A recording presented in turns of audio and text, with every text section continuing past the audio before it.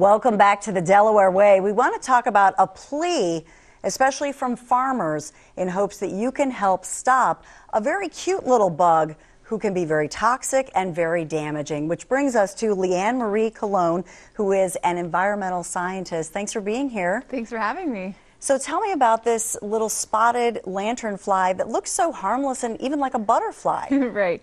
Um, it's a really interesting looking pest.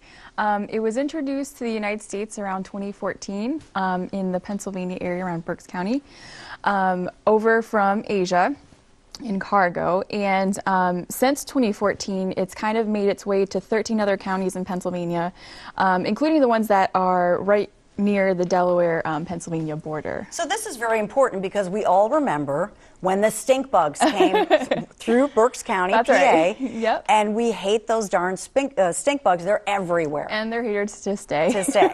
yeah. So if everybody gets involved, they can actually stop this bug from invading Delaware and damaging crops? Well, right now we're trying to do a lot of survey work to see um, whether or not this pest has made it to Delaware, established itself in the environment. Um, it does need things like the Tree of Heaven to complete its life cycle. We do have a lot of Tree of Heaven um, in Delaware along like roadsides and disturbed sites. Um, so we are asking the public to keep an eye on it. This is kind of a visual uh, close-up of what the insect looks like when it's kind of spread out. It's got these really cool looking spots on it, these red blotches. It's really quite distinct and pretty. It's like the Cruella de Vil bug. Just think of it as Cruella. That's exactly right.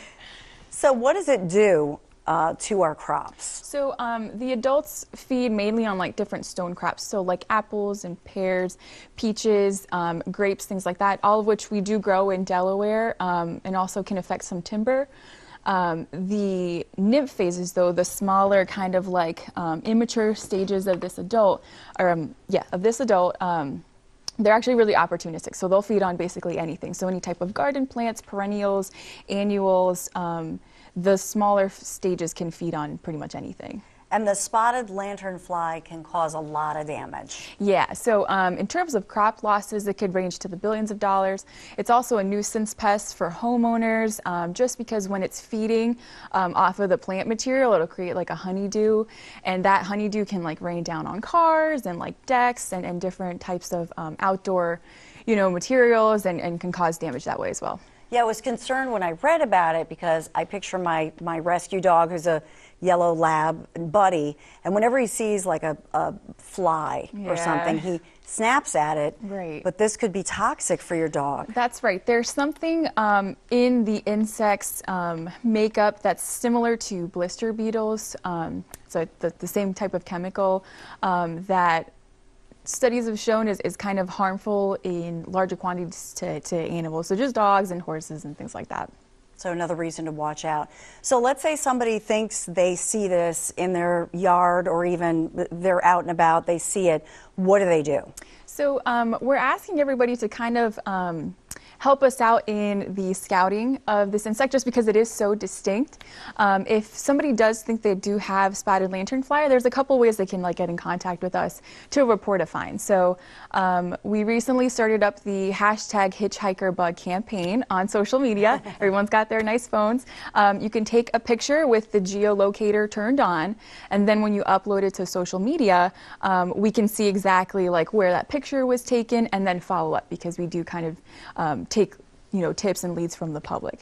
So social media is one way. Um, if you're not on social media, you could still take the picture with the geolocator on and send it to our email hitchhikerbug at state.de.us. Same deal. Um, if people are more adventurous and want to actually capture the insect, you can put it into um, a vial or a Ziploc bag, drop it off at the Department of Agriculture for identification that way. Um, and then you can also fill out a form on our website, which is the same type of thing. You can upload a picture, you can pinpoint a GPS location, and with all of these different things, we're asking people to kind of like also leave their contact information, just because we would like to call you up and see, you know, like where'd you found it, and um, other like relevant information for us to kind of jump on it and see where it's at. You know, with something like this, there are serious ramifications for our farmers, agriculture being, you know, number one in, in the state. So it's really a, it's it might be fun for families and even their kids, but there's a serious meaning behind this. People can really help. Right. Um, you know, because it's so distinct, you don't necessarily have to be a trained entomologist to kind of pick up on it. Um, there are a couple of insects that could look a little similar, but either way, we, we are really trying to follow up on, on every single call, every single email that comes up, just because we really are trying to mitigate the introduction of this pest into Delaware. Do you think you can do it? Is- I mean, it seems like a formidable task because we think of other bugs Right. that have come in. Yeah. Um, well, all we can do is really try our best. um, you know, nature does find its way to, you know, do what it's going to do. But as long as um, we have our response plan, as long as we're kind of reaching out to the public, and, and really education and outreach is the big component to trying to, to tamp down on, on this issue. So Lianmarie Colon, thank you so much. thanks for having me. And the Delaware Way continues.